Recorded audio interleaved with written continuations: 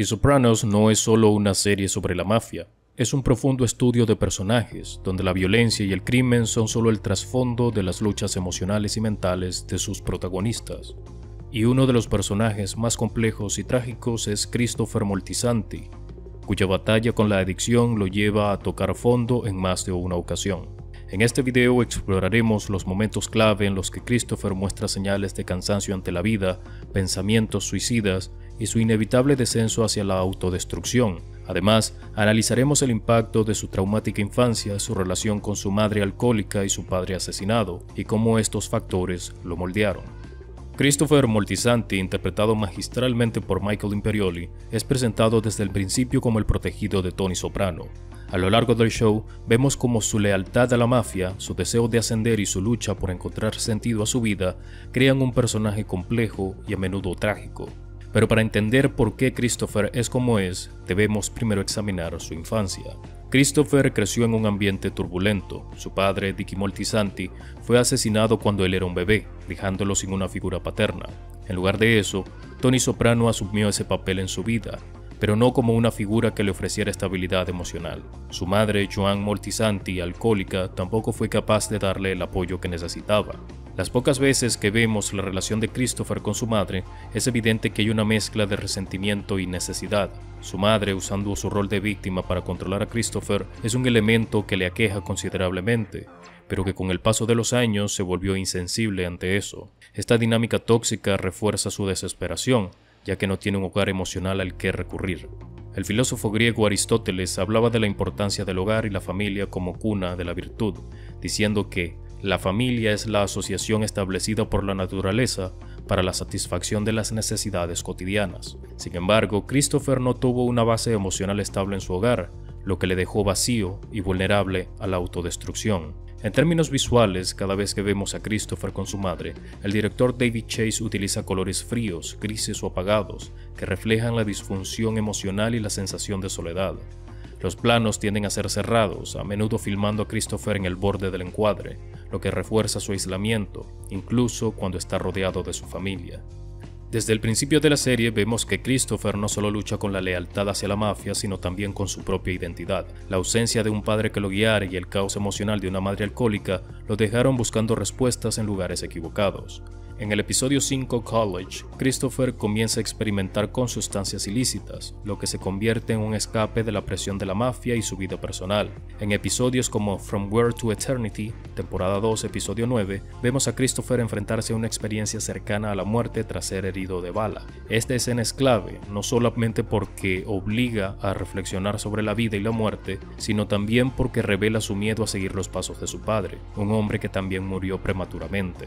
El alma desea con vehemencia separarse del cuerpo, decía Platón, y para Christopher su cercanía a la muerte lo coloca en un dilema existencial, el miedo de seguir los pasos de su padre, morir joven y no haber alcanzado el éxito que anhela.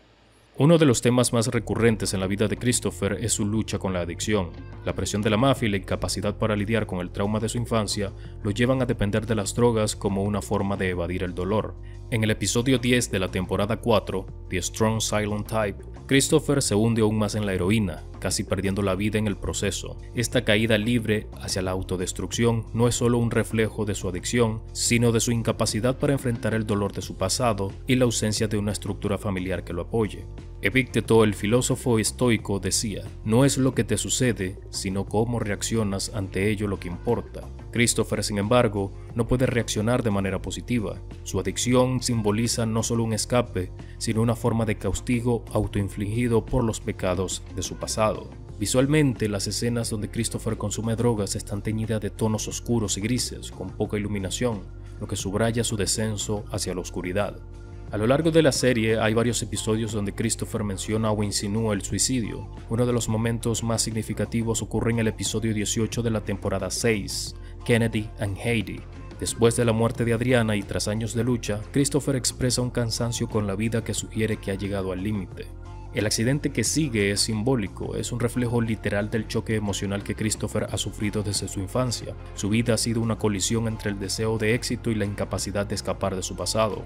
En esta escena, el uso de planos cerrados en el coche genera una sensación de confinamiento emocional. Para Christopher, su vida entera ha sido una preparación inconsciente para la autodestrucción. Atrapado entre la mafia, la adicción y el dolor emocional, el suicidio se convierte en una opción que él contempla repetidamente, aunque en la mayoría de las ocasiones no se muestre de una manera muy explícita. El arco de Christopher culmina en su muerte, un final trágico que parece inevitable dada su historia. En ese mismo episodio, su muerte a manos de Tony se siente casi predestinada. La elección de filmar su muerte en un plano frío refuerza el hecho de que, a pesar de todos sus intentos de escapar, Christopher no pudo superar su pasado ni las cicatrices emocionales. Vivir bajo compulsión no es vivir, decía Seneca. Christopher, un hombre que vivió bajo la compulsión de sus adicciones y la presión de la mafia, nunca fue libre. Su vida siempre estuvo controlada por fuerzas externas, la mafia, las expectativas de Tony y los fantasmas de su familia. Christopher Moltisanti es uno de los personajes más trágicos y complejos de The Sopranos. Desde una perspectiva psicológica, su caída es el resultado de múltiples factores, una infancia traumática, la adicción a las drogas y su necesidad de aprobación, que lo empuja a buscar validación en figuras como Tony Soprano. El consumo de sustancias en Christopher no solo es una forma de escape, sino una respuesta clara a su trauma infantil. Desde una temprana edad, Christopher quedó emocionalmente desprotegido. Esto se traduce en lo que la psicología se conoce como apego inseguro, una condición en la que el niño no puede formar vínculos saludables con los cuidadores, lo que afecta su capacidad de formar relaciones sanas en la adultez. El impacto de esto en Christopher es evidente. Su relación con las drogas es un síntoma de un dolor más profundo. Las adicciones, como las de Christopher, tienen efectos devastadores tanto físicos como emocionales. Desde un punto de vista físico, las drogas como la heroína alteran la química cerebral, interfiriendo con los neurotransmisores que regulan las emociones y el bienestar. La adicción a largo plazo puede provocar cambios permanentes en el cerebro, lo que dificulta aún más la capacidad de una persona para sentir placer o experimentar emociones de manera saludable. Emocionalmente, la adicción crea un ciclo de dependencia. La persona que consume sustancias inicialmente busca aliviar el dolor o la ansiedad, pero con el tiempo, el consumo se convierte en la única manera de escapar de una realidad que ya no puede soportar. Esto es evidente en Christopher. Desde una perspectiva psicológica, la exposición exposición temprana a un ambiente familiar disfuncional tiene efectos profundos en el desarrollo emocional. La teoría del trauma infantil nos dice que cuando los niños experimentan estrés crónico, como el abuso emocional o la negligencia, sus cerebros responden de manera adaptativa, viven en un estado constante de alerta o hiperactividad emocional. Para Christopher, esto se tradujo en una vida plagada de impulsividad y autodestrucción. La mafia, su segunda familia, solo reforzaba este ciclo, ya que en ese ambiente la violencia y el estrés son parte de la rutina diaria. El trauma no procesado también afecta la capacidad de la persona para regular sus emociones. Christopher, a lo largo de la serie, muestra una clara incapacidad para manejar la frustración o el estrés, recurriendo a la violencia o a las drogas como respuesta inmediata. Los episodios en los que se muestra deprimido o tiene pensamientos suicidas son manifestaciones de esta incapacidad para lidiar con su dolor emocional. Además, la relación de Christopher con Tori Soprano, quien actúa como una figura paterna sustituta, solo agrava su desesperación. Tony, aunque cuida de él, también lo manipula emocionalmente y lo utiliza para sus propios fines. Desde la perspectiva de la teoría de los roles familiares, Christopher quedó atrapado en el rol del hijo problemático, siempre en busca de la aprobación de una figura de autoridad que nunca le dio el apoyo emocional que necesitaba. Esta falta de validación lo empuja más profundamente hacia las drogas y el comportamiento autodestructivo. Otro aspecto relevante es cómo el trauma no solo afecta a la persona, sino también a su entorno. Las personas con traumas no resueltos y adicciones suelen repetir patrones destructivos en sus relaciones. En el caso de Christopher, su relación con Adrián Lacerva es un claro ejemplo. Aunque hay momentos en los que se muestra vulnerable y amoroso, su adicción y su enojo no procesado lo llevan a actuar de manera violenta y cruel. La toxicidad en su relación es una manifestación de cómo el trauma no procesado crea disfunción no solo en la persona, sino también en sus vínculos cercanos. Finalmente, es importante señalar que Christopher Moltisanti no es solo un producto de su entorno, sino también de sus propias acciones, pero su falta de una base emocional sólida y su dependencia a las drogas le impedían encontrar esa luz que le permitiera ver un camino menos doloroso. Su vida fue una serie de intentos fallidos de escapar de un dolor que nunca pudo procesar, y su muerte, aunque trágica, se siente inevitable dado su arco emocional y la vida que decidió seguir. El filósofo estoico Séneca escribió, es más noble el alma que soporta la adversidad y desafiando el dolor, supera las dificultades. Desafortunadamente, Christopher nunca tuvo la oportunidad de vivir esa nobleza. Sus traumas y adicciones lo consumieron y su historia es un recordatorio de las devastadoras consecuencias que el dolor emocional no tratado puede tener sobre una persona. Bueno, mis amigos, luego de haber pasado casi un año sin subir nada de Los Sopranos, quiero anunciarles que este video sobre Christopher Moltisanti es solo un pequeño aperitivo de lo que viene en un video que he estado planificando de hace bastante tiempo, sobre la vida, la verdadera historia de este grandioso personaje de The Sopranos. Por el momento llevo el 50% del guion escrito que a esta altura son 16 páginas, es decir, probablemente tenga que agregar 20, 25 páginas más y eso lo convertirá probablemente en el video más largo de mi canal, por lo que llevará un poco de tiempo.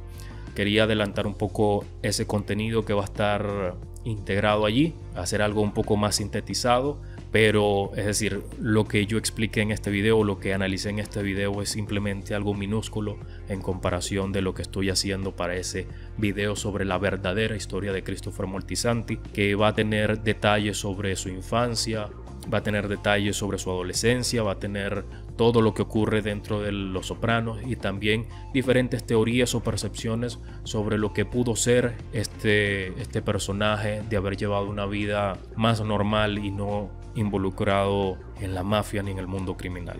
Entonces yo agradezco enormemente la paciencia que han tenido muchos aquí porque anuncié que estaba trabajando en ese video ya hace como dos o tres meses y la verdad es que intento ir avanzando con lo que puedo, debido a que, bueno, tengo mi trabajo normal, que son 40 horas a la semana, y entonces a veces no me queda mucho tiempo precisamente porque tengo que cumplir con mis obligaciones laborales, porque a veces encuentro trabajos extras que, que hago durante los fines de semana.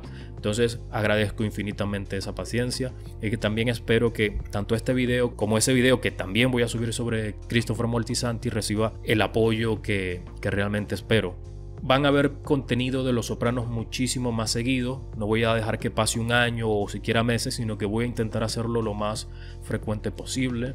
Tengo planificado un video sobre Tony Soprano, sobre algunas cositas de él, eh, que espero publicar eh, dentro de poco. Y antes de, publicar el video sobre el más largo sobre Christopher Moltisanti. Agradezco mucho el tiempo que se han tomado para escuchar este video y por ver todos los videos ya que, he subido y seguramente los que vendrán. De verdad, muchísimas gracias por todo y si les gustó este video recuerden darle like, comentar su opinión sobre esto, sobre la serie en general, sobre lo que quieran, comenten Gabagul en los comentarios y bueno, recuerden suscribirse, compartir este video, ya saben todo lo que tienen que hacer para ayudar a este canal. Hasta pronto.